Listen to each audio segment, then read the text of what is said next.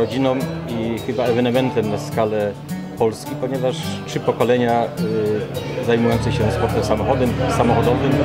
Tata jeździł na rajdy samochodowe i na wyścigach. Ja głównie ścigałem się na wyścigach płaskich, wyścigach górskich, natomiast syn od trzech lat próbuje y, szczęścia wyścigach samochodowych na wyścigach płaskich. Tor Poznań jest w zasadzie jedynym tego rodzaju obiektem w Polsce. Mieliśmy jeszcze tor w Miedzianej Górze, ale to, to był tor adoptowany częściowo z z drogi publicznej. Natomiast tor samochodowy Poznań, który powstał w połowie lat 70. z inicjatywy y, członków Automobil Klubu pana Mieczysława mojego taty Adama Smoranińskiego, pierwszego sekretarza Jerzego Zasady. To był tor, który wzorował się na torze Hungaroring, taki, który jest pod Budapesztem.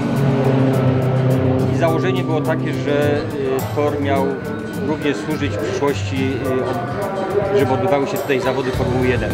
No niestety y, taka jest u nas rzeczywistość, że sport samochodowy nie zawsze cieszy się dużą popularnością wśród naszych władz sportowych.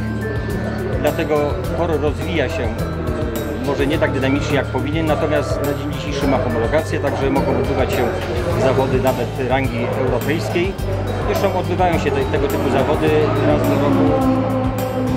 Natomiast y, normalnie w ciągu roku y, rozgrywają się tutaj zawody do mistrzostw Polski, puchary, tak jak jest puchar y, ISK BMW, który cieszy się naprawdę bardzo dużym, dużym, dużym powodzeniem.